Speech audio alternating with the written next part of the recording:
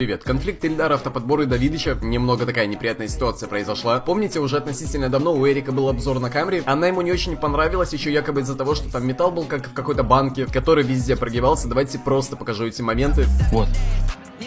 Просто фольга. Просто фольга. И она вся такая. Крыша.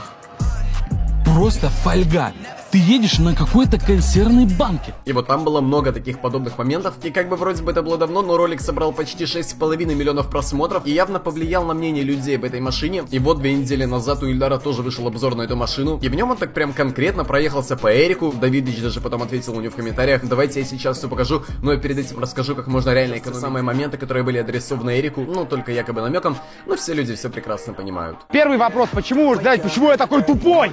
Почему я дебил, блин? Тоже безмозглый, потому что я не изучаю информацию, потому что я, блин, обсираю, прежде чем думать, и потому что я просто, я толстый.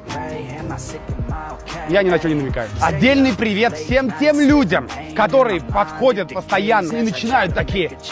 О, смотри, какой металл! Смотри, проминается, какой хлипенький. А здесь что, фольга? Фольга. Твой экскурс в теорию. Ребят, толстый металл на вот этих внешних кузовных элементах автомобиля это плохо. Почему? Потому что это лишняя масса.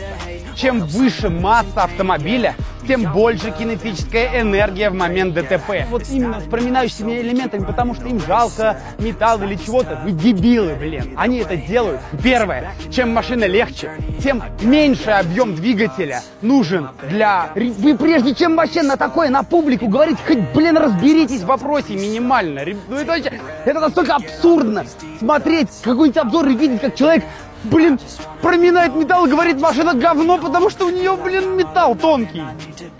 Первый вопрос, почему, знаете, почему я такой тупой?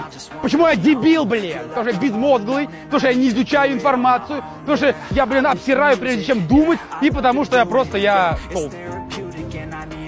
Я ни на что не намекаю конкретно так проехался по Эрику. И я не знаю просто, кем нужно быть, чтобы не понять, кому это было адресовано. Причем видно, что у Ильдара аж так подгорает, прям реально подгорело, в такой грубой форме все он это сделал. И самое забавное, что потом Эрик под этим роликом оставил свой комментарий. Мой подписчик успел сделать скриншот, потому что потом этот комментарий куда-то пропал. Твою ссылку я понял и услышал. Грубовато сделал, я к тебе хорошо относился, никогда ничего плохого про тебя не сказал, а ты уж слишком грубовато это сделал. Я не буду вникать в техническую часть, но ты далеко не везде прав, но я тебя услышал. Вот такой комментарий оставил Эрик, который потом пропал, и тут варианта два. Либо Эльдар его удалил, либо Эрик сам его удалил, потому что комментарий повисел там буквально часа 3-4, наверное. И я где-то даже немного понимаю Эльдара. Да, может быть в моменте это было слишком грубовато, но Эрик сделал бы, я думаю, еще грубее. Но говорить, кто прав, кто нет, я не буду, потому что у каждого свое мнение, но вот такой вот неприятный момент между ними